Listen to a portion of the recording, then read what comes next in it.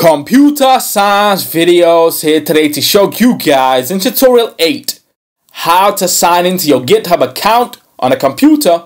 Without further ado, let us start the video. So in this tutorial, you need to have access to a Mac computer, a GitHub account, which we already created. If you haven't, go back to the previous tutorials to see how that is done and then come back.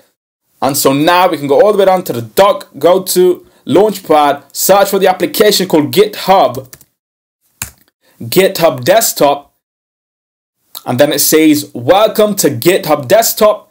GitHub Desktop is a seamless way to contribute to projects on GitHub and GitHub Enterprise Server. Sign in below to get started with your existing projects. So click on sign in to github.com. You need your username or the email address. So I'll put that in now. And then you need the password so I will put that in now.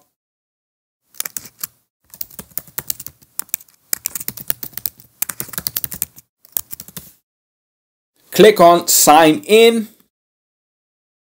Continue.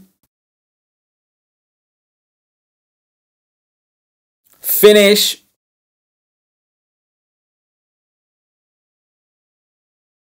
And now we have officially signed into GitHub Desktop on our computer, the Mac computer, so we can